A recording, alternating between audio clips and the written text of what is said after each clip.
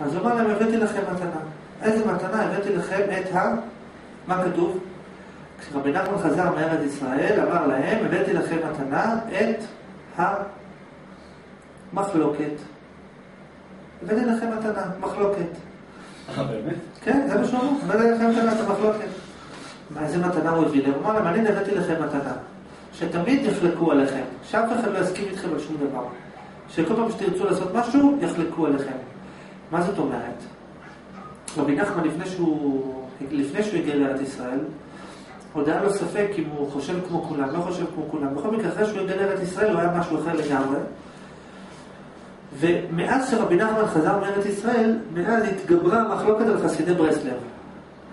וזה גם היה מריבות כאלה, אשתו, הילדים, השכנים, המשפחה, כולם חלקו עליהם. רבי נחמן אמר, הבאתי לכם מתנה את המחלוקת.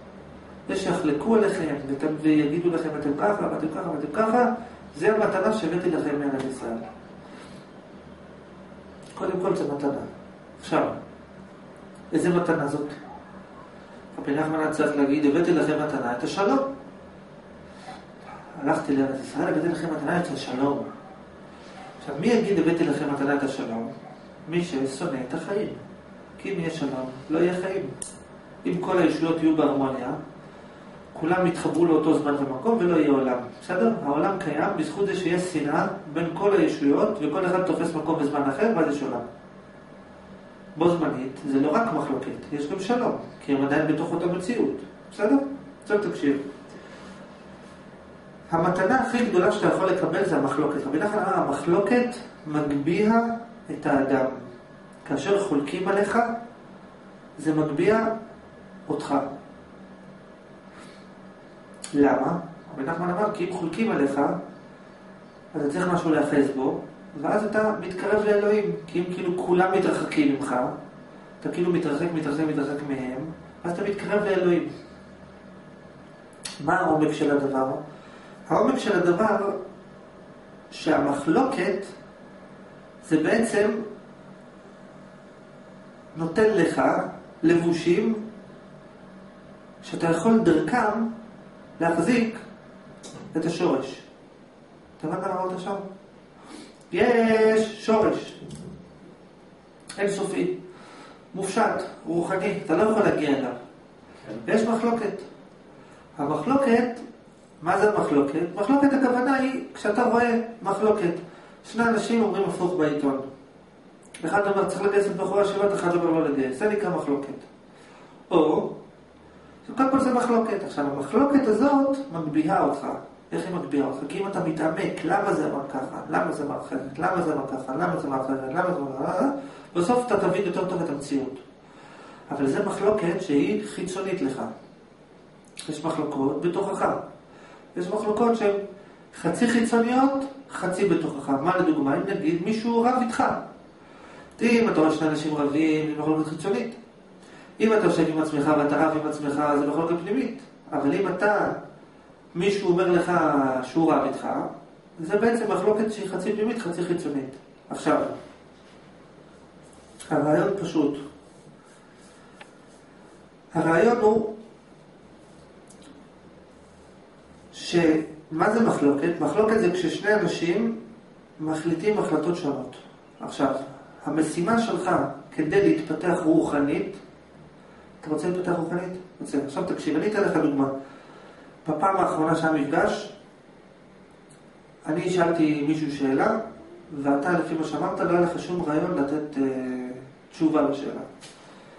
עכשיו, אני אמרתי לך שעצם זה שהבנת את השאלה, גם זה עצמו זה הישג. מה זאת אומרת הבנת את השאלה? לכאורה, השאלה ברורה. מה יש להבין את השאלה?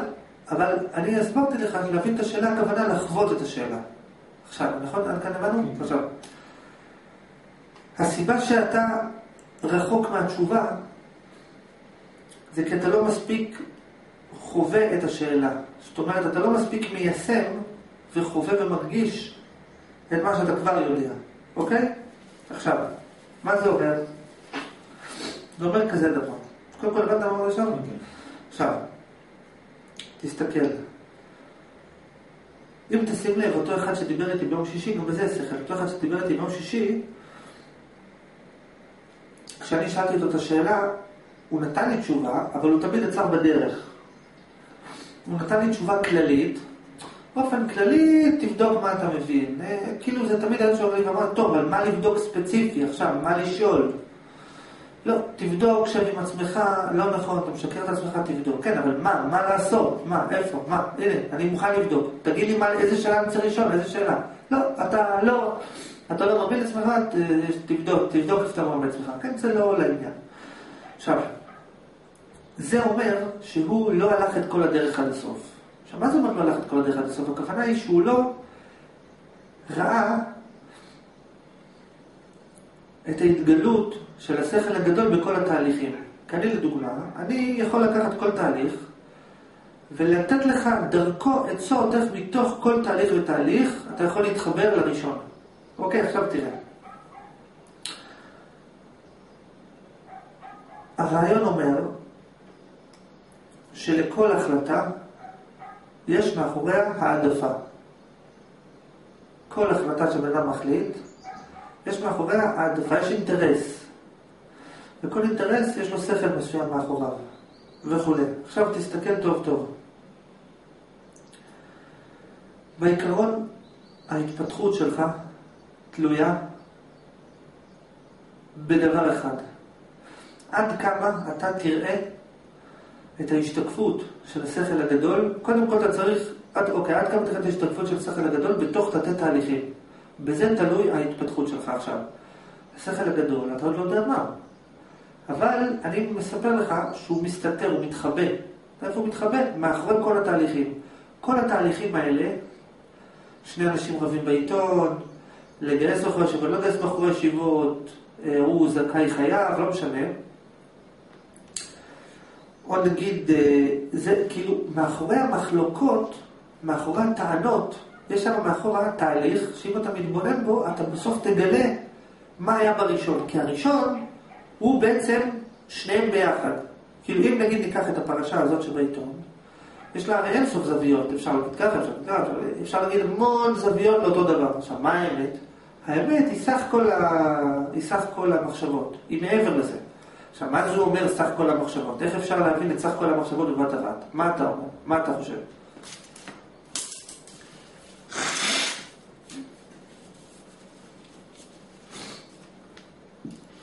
אני שואל, איך אתה יכול להבין את כל המחשבות בבת אחת? אה,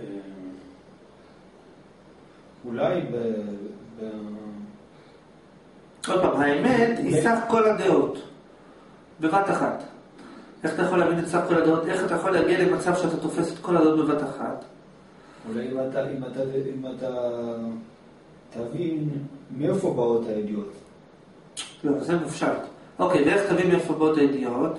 נגיד שזה נכון. ואיך מאיפה באות הידיעות? על ידי שתחקור את. את המחלוקת עצמה. עוד פעם, המחלוקת, אני אומר לך, תקשיב, יש פה אוויר, אתה צריך להחזיק אותו. איך אתה יכול להחזיק אותו? אתה עכשיו צריך כלים.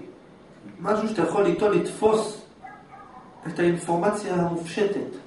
זה הצמצומים שבאמצעותם אתה יכול להחזיק את, ה... להחזיק את האינסוף, את, ה... את המופשט.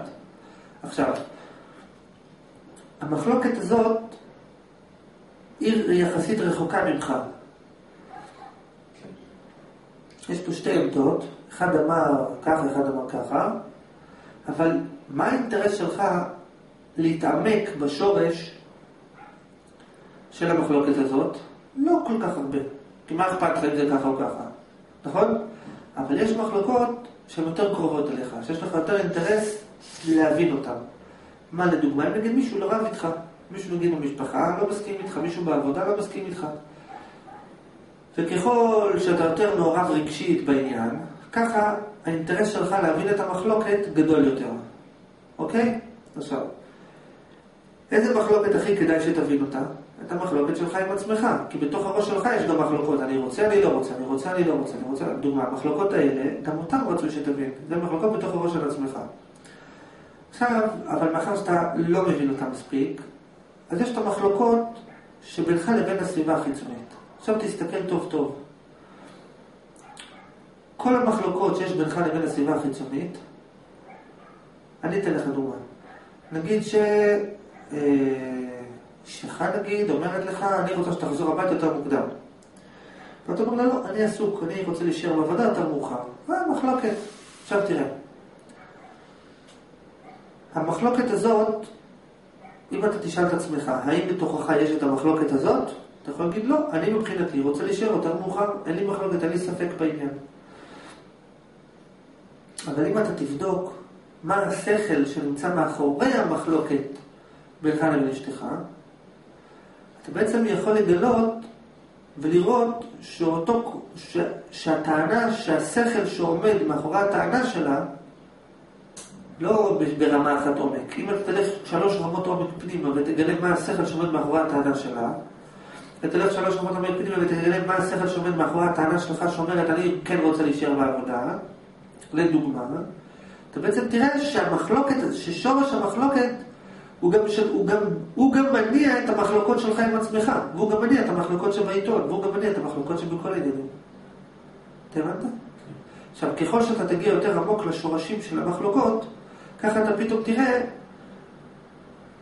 שאותה מחלוקת נמצאת, בעוד, שאותו שורשים מתבטאים בעוד מקומות. זאת אומרת, אם אתה תגיד, למה אשתי רוצה שאני אבוא יותר מוקדם? כי היא משהו, כי זה משהו. אתה עדיין לא רואה איפה הסיבה הזאת גרמה למחלוקת פה בין שני אלה, בעיתון.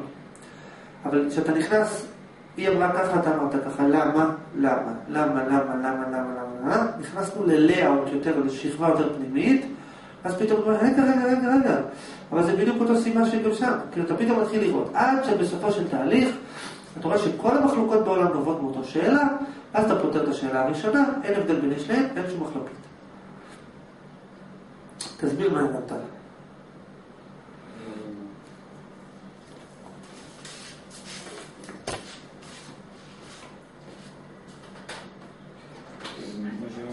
יסוד אחד זה שהתפקיד של המחלוקת זה הם כלי, כלים שמאפשרים לאחוז את ה...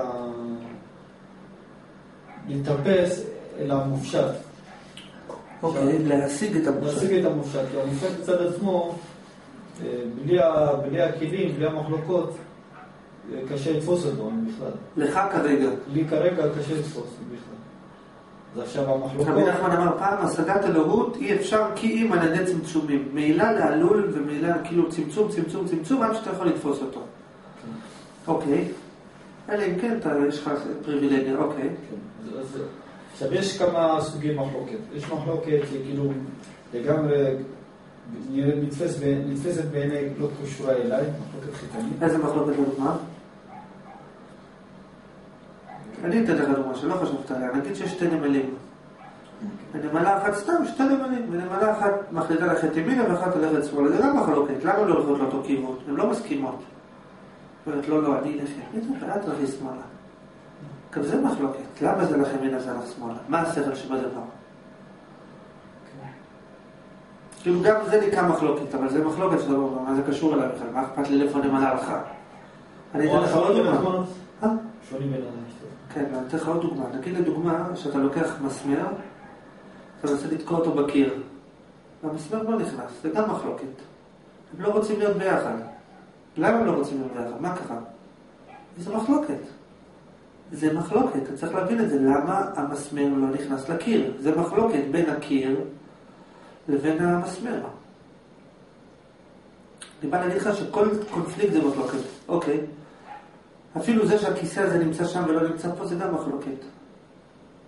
שני המקומות רבים ביניהם, הוא אומר אני רוצה הכיסא פה, הוא אומר אני רוצה שם, יש מחלוקת. באתי להגיד שיש אינסוף מחלוקות, בקיצור. אוקיי, תמשיך. אז, אז יש מחלוקות שנחשבות בעיניי כחיצוניות, יש מחלוקות שנחשבות כפנימיות, ויש מחלוקות לחצאים, חלק, חלק החלק. עכשיו, אה, עכשיו, דרך המחלוקות, החקירה של המחלוקת, כלומר להבין את השורשים של, של שתי הדעות, של החולקים, אה, המהויות שנמצאות מאחורי המהות של הדעות, המהויות של הדעות, אז ככל, ש, ככל שמבינים יותר עמוק, יותר, יותר פנימה, הולכים יותר פנימה, אז מגיעים ליותר, ליותר אחדות. בין המחלוקות. בין המחלוקות. מה זה על, אומר? על כדי שיכול להיות שכל המחלוקות יעמדו על, על, בסיס, על, בסיס, על בסיס אחד של מחלוקת. ואז גם אפשר לראות, גם על ידי זה אפשר לראות גם שזה קשור למחלוקות האישיות שלך. אם אתה נכנס לעומק של המחלוקת, זה מתחבר גם למחלוקות האישיות שלך, כי זה כולל גם את ה... כי זה בכלל המחלוקות של המציאות. תן דוגמה. המחלוקת הפרטית שלך. אני אתן לך דוגמה. כן. נגיד שהילדה שלך רבה איתך על משהו. נניח, אוקיי? האם אתה מסוגל לראות איפה המחלוקת שלה איתך? איפה אותה מחלוקת בדיוק קורית בתוכך? איפה אתה עוד לא פתרת את המחלוקת הזאת עם עצמך? כן. מה למדת? נגיד שהילדה שלך אומרת לך, אתה לא אוהב אותי מספיק, תקנה לי עוד. נגיד. איפה המחלוקת הזאת נמצאת בתוכך? איפה בתוכך, איפה בתוכך יש, איפה בתוכך יש אותך ואת הילדה שלך? כאילו, קח אותך, עכשיו תיכנס, עכשיו תראה, יש אותך, ויש בחוץ את הילדה שלך. אבא, אתה לא אוהב אותי מספיק? אתה לא, תקנה לי עוד, בסדר? עוד עוד. עכשיו, איפה בתוכך, תיכנס ותנסה בתוכך למצוא אותך ואת הילדה שלך. איפה יש בתוכך שני כוחות, אחד אתה ואחד הילדה שלך. הבנת מה? אתה כן, כן, אתה- כן, כן, כן, כן. עכשיו, באמצעות זה שאתה מתעמק, למה הילדה אמרה ככה? למה ככה? למה ככה? למה זה? למה זה? למה זה? פתאום אתה מגלה משהו, אז אתה אומר, רגע, אבל זה גם בתוכי יש את השאלה הזאת. ואז מתחיל להיות החיים יותר מעניינים. כי עכשיו כשאתה מדבר איתה, אתה בכלל מדבר עם עצמך, ואתה מדבר עליה, אתה מדבר עליך, אתה מדבר עליך, אתה מדבר עליה. ואתה מתו... ואז, אתה... ואז אם אתה מתווכח עם הילדה שלך, אתה כבר לא מתווכח איתה על תקנה לי במבה או לא תקנה לי, אתה מתווכח איתה על השכל שעומד מאחורי הפתרון של המחלוקת שלך עם עצמך בכלל.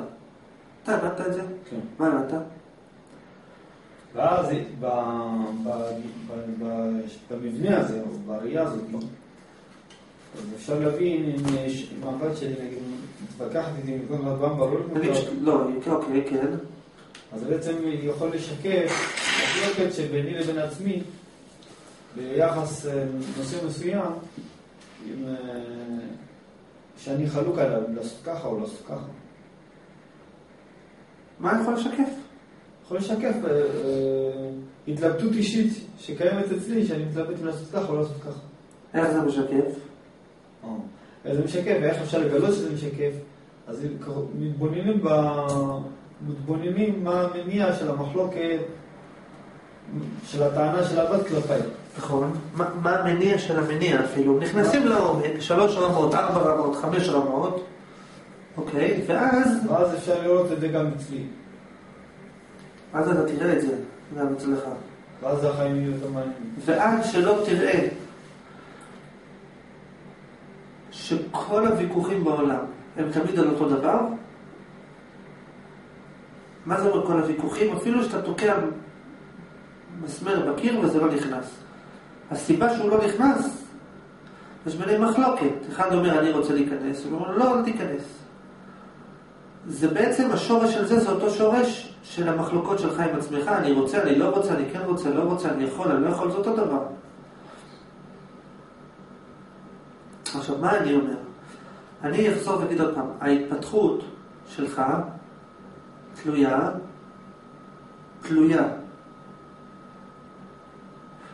בעד כמה אתה מצליח להיכנס עם השכל הזה, לפצח צורות ולראות את המהויות של מחלוקות. זאת אומרת, שאם אתה מתווכח עם הילדה שלך על משהו, אוקיי? ואני שואל אותך, על מה אתם רבים? היא רוצה שאני אקנה לה יותר במבה, אני לא רוצה לקנות לה יותר במבה. אז אני אגיד לך, ומה המהות של זה? המהות של זה זה שהיא אומרת שאני לא אוהב אותה מספיק. זה המהות של זה. עכשיו אני אגיד לך, טוב, ומה אתה אומר על זה? תגיד לי, לא יודע, זה המהות, זה לא יודע מה אני אומר על זה, אין לי מושג מה לעשות עם זה. אוקיי, נגיד. עכשיו, אם אתה אחר כך תלך ותקרא את הספר להיות אלוהים, ובספר להיות אלוהים אתה תקרא שאין הבדל בין השניהם, נגיד. אתה תגיד, וואלה, הבנתי, אין הבדל בין השניהם. זה לא יעזור לך. אתה, זה, עוד פעם, זה יכול לקדם אותך הספר, אבל אתה לא יכול לסגור מעגל. הלסגור מעגל מתרחש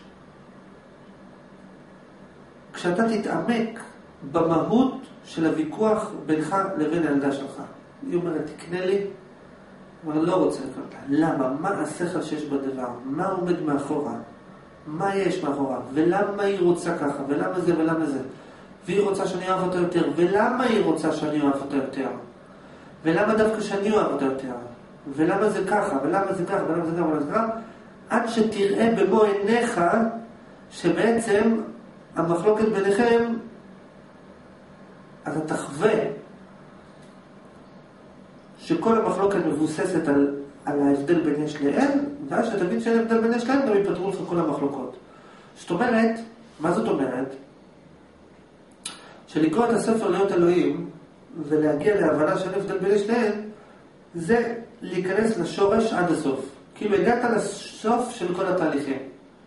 אבל אם אתה עכשיו אומר לי, למה אתה רב עם הילדה שלך? למה אתם רבים? אתה אומר לי, כי היא אומרת שאני לא אוהב אותה מספיק. זה נקרא להיאחז בצורה חיצונית. להגיד, היא רבה איתי כי אני לא אוהב אותה מספיק, זה נקרא להיאחז בצורה חיצונית. זה אומר שאתה עוד לא הבנת, כאילו, אתה מבין מה אני מתכוון? אתה לא נכנס למהות של העניין, לליבה של העניין, ללב המערכת. ואיך אני? זה כמו, זה כמו נגיד, רגע, תקשיב, נגיד שאתה פה, זה אתה, ואתה חלק אחד נכנס פנימה עד הסוף, בספר, וחלק אחד אתה נכנס פנימה לא עד הסוף. יותר גרוע מזה, כשאתה יושב עם עצמך ואומר, אולי אני אגרום לילדה שלי לאהוב אותי אם אני אקנה לה יותר,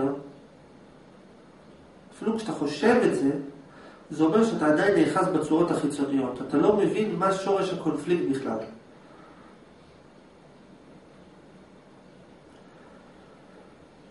אתה מבין מה אני אומר? אני רוצה לשנות את הגישה שלך לגבי העניין. שאתה תבין שעוד פעם, קודם כל התשובה לכל השאלות בעולם נמצאת מאחורי כל התהליכים בעולם. ומשום כך, התשובה לכל השאלות בעולם נמצאת גם מאחורי המחלוקת שלך מול הילדה שלך. בהנחה שיש, אם יש. זה הבנת? זה דבר ראשון. היא לא נמצאת רק מאחורי התהליך הזה, היא נמצאת מאחורי כל תהליך, אבל היא נמצאת גם מאחורי התהליך הזה. תבין, התשובה לכל השאלות העולם והקיום, ואם יש אלוהים או אין אלוהים, ואם היה מתן תורה או לא היה מתן תורה, ואם היה מפץ גדול או לא היה, ואם יש חלקיק אלוהי או אין, כל התשובות לכל השאלות נמצאות מאחורי התהליך של המרימה שלך עם הילדה שלך, אם יש לך כזו. או מאחורי כל סיפור אחר. עכשיו, דבר ראשון זה לגרום לך להתייחס בכבוד למחלוקת. אל תגיד, אה, מחלוקת, אה, מה אכפת לי? מה זה מה אכפת לי? יש מאחורה שם תשובה לכל מה שאתה מחפש. מאז שנולדת אתה מחפש משהו, נכון? יפה. התשוב, וגם אחרי שתמות תחפש, נכון? התשובה לשאלה הזאת נמצאת בתוך המחלוקת בינך לבינה. זה דבר ראשון. כדי שתמסור את נפשך להבין את המחלוקת הזאת. כאילו במסירות נפש ממש, אני מוסר את נפשי, הנני מוכן ומזומן למות למען הבנת המחלוקת הזאת. הכל, רוצה להבין את המחלוקת. עכשיו, דבר, עכשיו זה דבר אחד. דבר נוסף אני רוצה שתבין, שאם אתה לא תבין את השורש של המחלוקת הזאת, אתה אף פעם לא תוכל לחוות שלמות. כי אתה יכול עד מחר ללמוד פלפולים, שזה טוב ללמוד פלפולים, אני לא מזלזל בפלפולים, כי גם פלפולים זה טוב, כי זה מפתח לך את החשיבה, אבל בסופו של דבר אתה צריך לפצח בראש שלך, להזיע, להתעמק, איך אני רואה את הפלפולים האלה בתוך התהליכים האלה. מה אתה מבין אותי? אני מנסה לשנות לך את הגישה, אתה מבין מה אני אומר? אני רוצה לא, כאילו ברמה מסוימת אני מכוון לכיוון הזה. כן, אבל כשיש לך מחלוקת עם הילדה שלך נגיד, אתה אומר, וואו, באמת, עכשיו יש לי פה הזדמנות שאני חייב דרכה לגלות למה אני חי. אם אני רק אבין למה היא אמרה לי ככה, אני... אתה באמת חווה, אם היו אומרים לך שהמשיח נמצא שם, היית רץ לשם. אבל אם אומרים לך אם אתה עושה משהו, אתה נהיה הכי מאושר בעולם, היית משתוקק אליו. אני מסביר לך, אם תצליח להבין את המחלוקת בינך לבין הילדה שלך, אתה תהיה הכי מאושר בעולם, אלוהים נמצא מאחורה. רצית לראות אותו פעם, הוא נמצא מאחורה, מאחורי המחלוקת הזאת. עכשיו אני שואל אותך, האם כשאתה רב עם הילדה שלך, לדוגמה, האם אתה חווה את זה שמאחורי זה מסתתר פתרון לכל בעיות החיים שלך? שואל את השאלה הזאת. התשובה היא שלא. זה אומר שהגישה שלך בעייתית. אני אסביר לך עוד דבר, אני אשאל אותך עוד שאלה, האם אתה מבין שאם לא תצליח לראות את אלוהים מאחורי כל המחלוקות בעולם, אתה בכל מקרה לא תצליח אף פעם לראות אותו, גם את זה אתה מבין? כן. כי אי אפשר לראות את אלוהים חצי, כי אם זה חצי אלוהים, זה לא אלוהים. עכשיו, אם אלוהים מסתתר מאחורי כל התהליכים, ויש תהליך אחד אפילו, שאתה לא רואה דרכו את ההשתקפות של, ה... של היש והיד, או מה שזה לא יהיה, אז אתה, אתה לא יכול לראות את אלוהים. לצורך העניין. מה אתה מבין?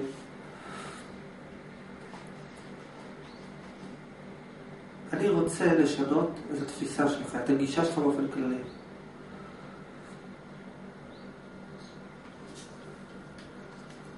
תגיד מה אתה מבין. אה, אני...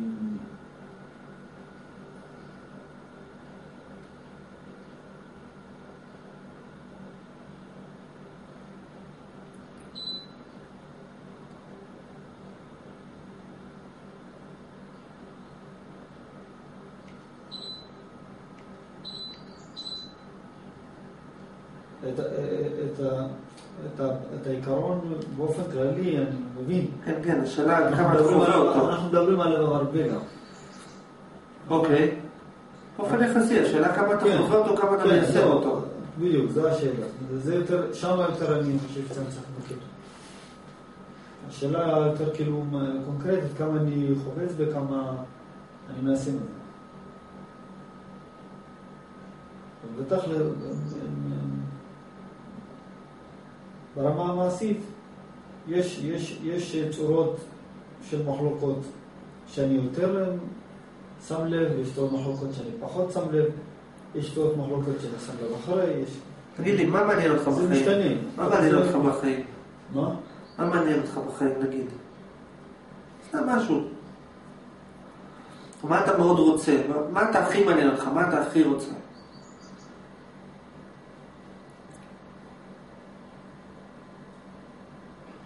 איזה דבר, אם היית בטוח שאתה מקבל אותו, היית מוכן למות למענו, או לסבול למענו.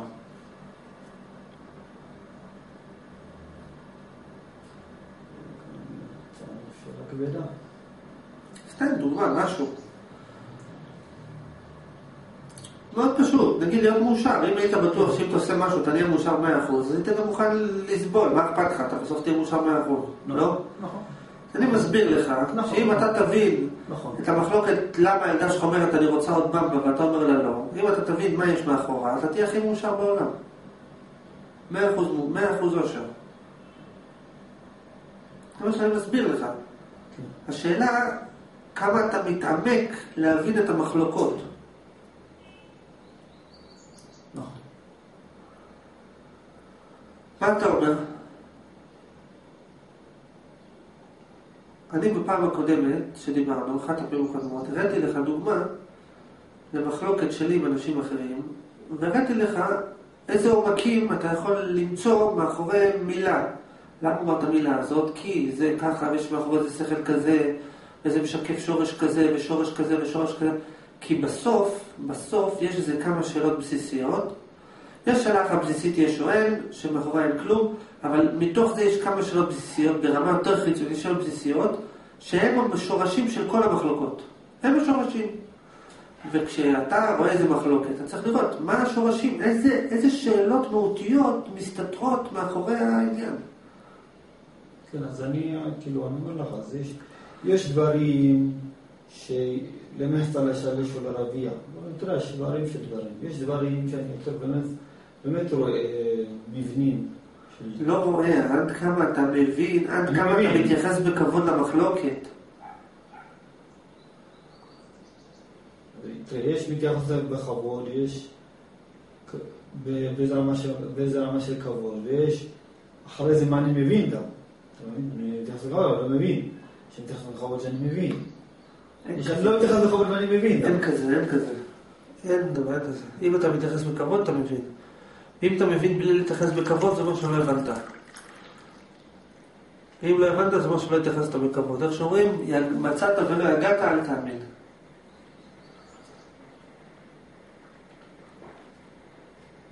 הבנת אמרתי?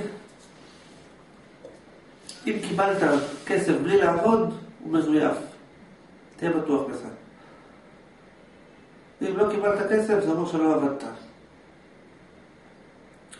בסדר, בוא ניתן לך דוגמה. אבל במצב ביניים שאני נמצא פה, אז יש, יש, מה שאני מנסה להעביר לך, המסר, המסר שאני מנסה להעביר לך, זה תתייחס פי מיליון בכבוד, בתשומת לב, בערנות, במודעות, לכל פעם שאתה מתווכח עם מישהו על משהו.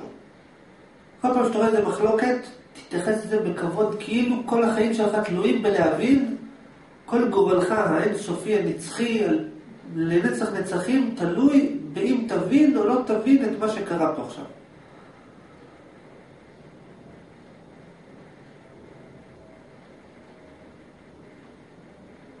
מה, גם להיות מרוכז במה שהוא אומר, גם להיות מרוכז ב... יש פה כמה... עכשיו אתה עושה מניפולציה. כי מה אני אמרתי לך? כן. זה לא סותר. אמרתי לך, תהיה מרוכז פי מיליון במה שהוא אומר. תהיה מרוכז לפרטי פרטים בכל מה שהוא אומר לך.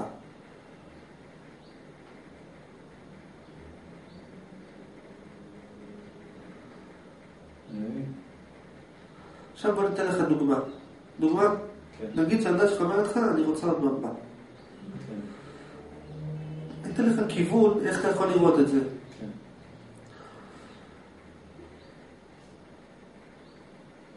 לדוגמה, למה היא רוצה עוד מבע? כי יש לה, כי יש לה תחושת חיסרון באופן כללי, והיא רוצה למלא את תחושת הרצון שלה באופן כללי באמצעות צורה חיצונית של עוד מבע. לדוגמה, ואתה אומר לה, לא, אני לא רוצה לקנות לך עוד מבע. כשאתה אומר לה, אני לא רוצה לקנות לך עוד מבע, מה אתה מנסה לומר לה? אני רוצה שתרגישי רע, ולכן אני לא רוצה לקרוא לך מבע? או שאתה אומר לה, לא, אני רוצה שתרגישי טוב גם בלי עוד מבע. מה אתה מתכוון לומר לה? רוצה שתרגישי טוב גם בלי עוד מבע, נכון? באמת? מה אתה אומר לה? לא, אני שונא אותך. אני רוצה לא... לא, אתה מתכוון לא, אני אוהב אותך אבל לא רוצה לקרוא לך עוד מבע. אני רוצה שתלמדי להרגיש טוב גם בלי עוד מבע. באמת? כן.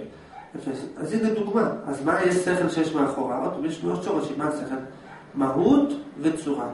היא אומרת, כדי שאני ארגיש טוב, אני צריכה להשיג צורה חיצונית, שינוי חיצוני. ואתה אומר לה לא. כדי שאת תרגישי טוב, את צריכה לעשות שינוי פנימי. כי אם אתה... הרי למה היא רוצה עוד במבה? כי היא רוצה להרגיש טוב באמצעות שינוי חיצוני. ואתה אומר לה לא, תרגישי טוב בלי זה. זאת אומרת, תפתרי את זה בצורה של מהות, לא בצורה של צורה, לא דרך צורה, בצורה של מהות, לא בצורה של צורה. ואותו מחלוקת לדוגמה נמצאת גם אצלך, כי גם אצלך יש את השאלה האם להשיג עושר באמצעות שינוי חיצוני או באמצעות שינוי פנימי. לדוגמה, זה אותו סור, זה אותו שורש. ראית? מה הבנת? אני שם אותך דוגמה פשוטה. כן. או נגיד שהילדה אומרת, אני רוצה עוד מבע. מה השורש של זה? שהיא בעצם אומרת, אם אתה תתעמק יותר פנימה, מה שבעצם היא אומרת? אני לא יכולה לאהוב את עצמי בלי תנאים. כי אם היא הייתה חושבת שהיא יכולה לאהוב את עצמה בלי תנאים, ולהיות מאושרת בלי תנאים, למה היא צריכה במבה? אז שהיא אומרת, לא, אני רוצה במבה. ובעצם, אני לא יכולה לאהוב את עצמי בלי תנאים. אני חייבת לשנות את המציאות, ואם אני אשנה אותה, היא תהיה יותר טובה מאשר קודם. עכשיו, השכל הזה נמצא בדיוק גם אצלך. עכשיו בוא נגיד שהילדה שלך אומרת לך, אני לא אוהב, אתה לא אוהב אותי. מה השכל שעומד מאחורי זה? האם כדי לאהוב את עצמך, יש פה כמה שאלות. קודם כל, האם בכלל את יכולה לאהוב את עצמך? נכון, ש... נכון שאני לא אוהב אותך, אז מה? למה את רוצה שאני אוהב אותך? כדי שתאהבי את עצמך יותר, אבל האם בכלל את יכולה לאהוב את עצמך יותר? קודם כל, האם בכלל את יכולה לאהוב את עצמך יותר? דבר שני, האם באמת זה שאני אוהב אותך, זה יגרום לך לאהוב את עצמך יותר? כן או לא? עכשיו זה אותו דבר גם אצלך, כי גם אתה יש לך ספק, אם אני אשיג את זה, יהיה לי יותר טוב או לא יהיה יותר טוב? זה בדיוק אותו שאלה. האם בכלל אני יכול להיות מרוצה? זה בדיוק אותה שאלה, זה לא שונה בכלל, זה אותו שאלה רק מלובשת בכמה צורות. או לדוגמה, כשהילדה שלך אומרת לך, נגיד, אומרת לך, אתה לא אוהב אותי מספיק, מה בעצם היא עושה? היא הופכת אותך לאלוהים. כי כאילו אומרת לך, אתה צריך לספק לי משהו. אבל גם אתה עושה את זה. כי כשאתה אומר, אני רעב ואני רוצה לאכול, אתה הופך את האוכל לאלוהים. זאת אומרת, האוכל צריך לספק לי משהו. זה אותו דבר.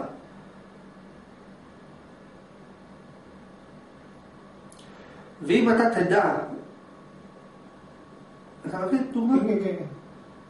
אפשר להראות לך עוד הרבה דוגמאות עכשיו, ואז אתה תבין שאם אתה מתווכח עם ילדה שלך, אתה כבר לא מתווכח איתה על הבמבה, אתה מתווכח איתה על השכל שיש מאחורי הבקשה שלה, על השכלים, על התפיסות שיש מאחורי הבקשה, על האמונות שיש מאחורי, מאחורי המריבה. יש מאחורי המחלוקת הזאת המון שאלות מהותיות. האם אפשר בכלל להיות מאושר? האם כדאי להיות מאושר? האם בכלל את יכולה לאהוב את עצמך? האם אפשרי שתאהבי את עצמך? האם את צריכה לאהוב את עצמך בפנים ובחוץ? האם מישהו יכול להשפיע על זה? והשאלות האלה נמצאות גם אתה מול עצמך, זה בדיוק אותו שאלות, הרי זה לא שונה, זה בדיוק אותו שאלות. תסביר מה הבנת. גם בדוגמאות או... תסביר, תסביר. מה כמה שיותר תסביר יותר טוב. בעיקרון הוא ש... לנסות להביא את המחלוקות השונות, או את הדיווחים השונים, לנסות להבין את המהויות של הוויכוח, ולא את הלבוש. ואז אה, ממילא, או, לא או באופן יזום, זה למצוא את ה... לראות שהמחלוקת הזאת בעצם קיימת גם אצלי, באופן אישי. דוגמה, ואז גם יהיה לך יותר קל להסדור לה, ואז גם תוכל להבין אותה, כי אתה יודע מה יש מאחורי מה שהיא מדברת. ואתה רואה איפה גם בתוכך אתה בכלל חושב כמוה. כאילו אתה תצליח לראות איפה בתוכך יש את העמדה שלה, ואיפה בתוכך יש את העמדה שלך מולה. אוקיי, לדוגמה. אה, לדוגמה, אם הבת שלי רוצה שאני אקנה לה במבה, ואני לא לקנות לה במבה, אז יכול להיות שאחת המשמעויות של זה,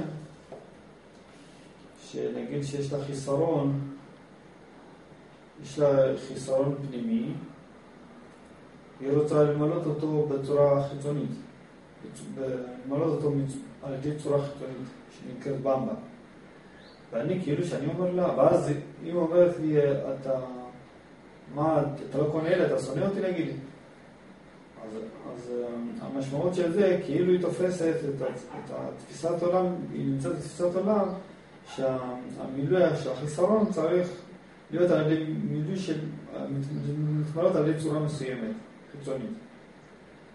ובעצם כשאני אומר לה לא, המשמעות שעומדת מאחורי זה, לא, את אה, יכולה למלות את עצמך גם בלי צורה חיצונית. גם בלי הבמבה את יכולה להרגיש, להרגיש טוב או להרגיש, למלא את הרצון שלך. עכשיו, איפה זה יכול להשתקף אצלי? נגיד שאני, שאני חושב שאני, השובע שלי, או מילוי החסר שלי, זה על ידי שאני אוכל ארוחת צהריים.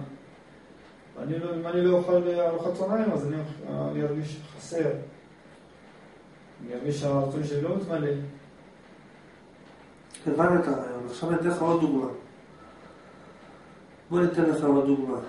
מהות הוויכוח בינך לבין הילדה שלך, לדוגמה, או עוד מהות, זה שהיא אומרת לך, אני רוצה להרגיש, תראה, אם הייתה אומרת לעצמה, אני מוכנה, כל שכן וקל וחומר רוצה להרגיש רע, היא לא הייתה מתלוננת, מה אכפת לך, את מרגישה רע, למה את מתלוננת? זאת אומרת שהיא אומרת לעצמה, לא, אני לא רוצה להרגיש רע, אני רוצה להרגיש טוב ורק טוב. ואני רוצה להרגיש טוב ורק טוב באמצעות מילוי חיצוני ממנו. אתה צריך לגרום לה לאהוב את עצמה, לחוש שלמות. ושורש הוויכוח שלך מולה זה תקשיבי, אין אפשרות שאני אספק לך שלמות, אין אופציה כזאת.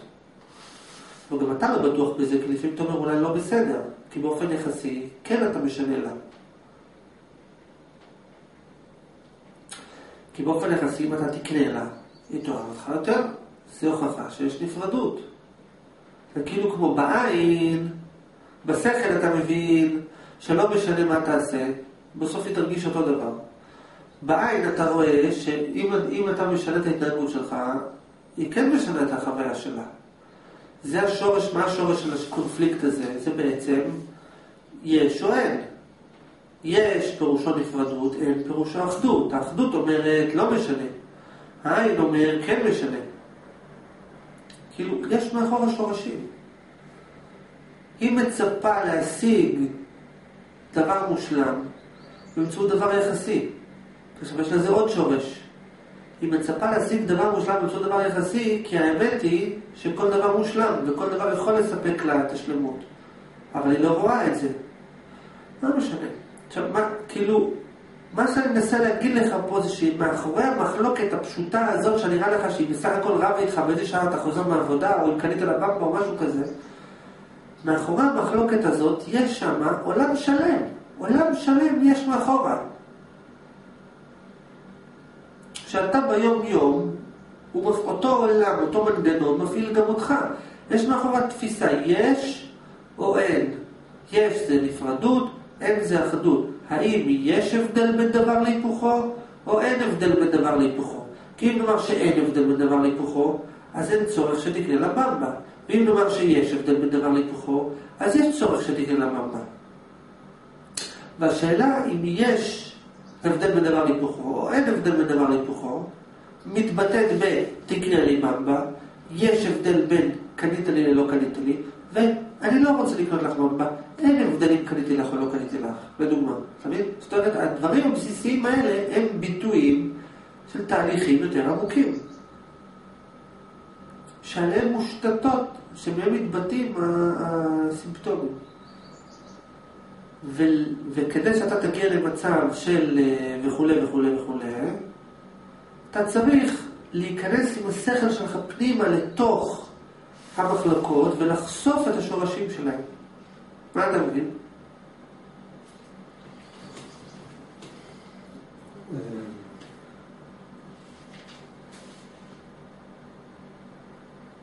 כאילו עכשיו אפשר לראות גם את המחלוקת הזאת, לראות עוד, עוד אה, משמעות שמלובשת שם, או שהיא מבטאת משמעות מסוימת נוספת, של מה שעשית גם עכשיו. יכול להיות שתקנה לי, אה, אני רוצה שתקנה לי, או שאני לא קונה לך, אז יש פה, יש פה שאלה עקרונית. האם יש הבדל בין, יש לארנון הבדל? היא כאילו באה בעמדה, היא באה בעמדה שיש הבדל. לכן הוא רוצה שאני אקנה לה. אני אומר לה שאין הבדל, זה לא משנה אם אני אקנה לך או לא אקנה לך. זאת אומרת, מה, מה כאן העיקרון? העיקרון הוא, כאילו יש פה, אה, כאילו שאלה מאוד אה, פשוטה ומבושמת פרקטית, אבל ולכאורה אין בה שום איזה עיקרון. אבל אם הם מתרגלים, כנראה הם מתרגלים לראות אה, את ה... את ה לא, לא, לא, לא להתייחס רק לצורות, אלא גם למהויות שעומדות מאחורי הצורות, אז אפשר לראות כאילו בדברים פרקטיים, פשוטים, גם דברים עקרוניים. אוקיי, okay, עכשיו בוא תתן לי סיכום של מה שדיברתי איתך. מה המסר המרכזי, מה המהות של מה שאני מנסה להסביר לך? ומה אתה מבין שהמהות של מה שאני מנסה להסביר לך? אני מנסה להעביר לך מסר. כן. כאילו גם מה שאני מדבר איתך עכשיו זה רק לבוש של מהות אחרת. כן, מעניין.